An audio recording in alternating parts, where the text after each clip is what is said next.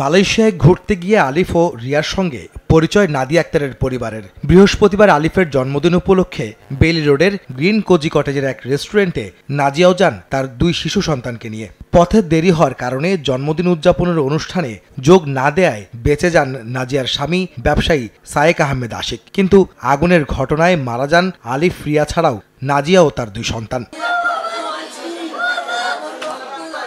শুক্রবার সকালে নাজিয়া ও তার দুই সন্তানের মরদেহ নেওয়া হয় গ্রামের বাড়ি নোয়াখালী। শোকের ছায়া নেমে আসে এলাকা জুড়ে। ভাইয়ের মেয়েও একটা ছিল সাথে, আর আমার ভাইয়ের বউ, আর আমাদের দুই রাজপুত্র ছিল সাথে। মোট ছয় জন মানুষ ছিল। কালো দোয়া সব দোয়া করে ফেলছে আমাদের মৃত্যুর কয়েক ঘণ্টা আগেও ফেসবুকে উনত্রিশ ফেব্রুয়ারি লিপিয়ারের দিনের অভিজ্ঞতার কথা জানিয়ে বুয়েট ছাত্র নাহিয়ান লিখেছিলেন হয়তো চার বছর পর আবার উনত্রিশ ফেব্রুয়ারির এমন একটা দিনের দিকে ফিরে তাকাবো। কিন্তু ভাগ্যের নির্মম পরিহাস চিরদিনের জন্য বন্ধ হয়ে যায় তার চোখ।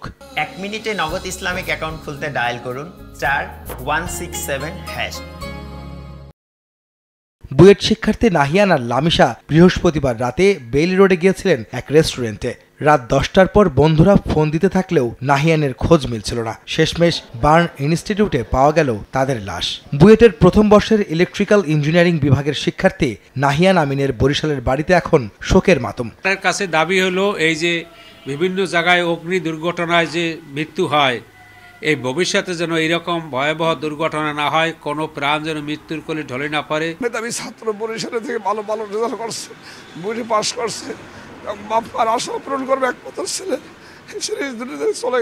বিকারুন্নেসা নুন স্কুলের শিক্ষিকা লুৎফুন নাহার করিম ও তার মেয়ে একই স্কুলের সাবেক ছাত্রী জান্নাতিন তাজরিরও একই পরিণতি হয় বেইলি রোডের আগুনের ঘটনায়।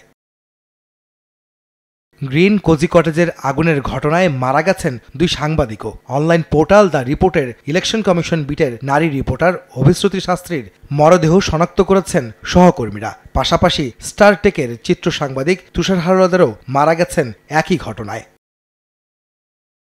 আহমেদ সালেহিন, সময় সংবাদ, ঢাকা।